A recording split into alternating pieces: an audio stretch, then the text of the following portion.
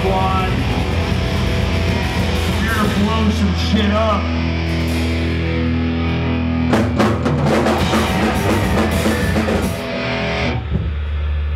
Already blew shit up.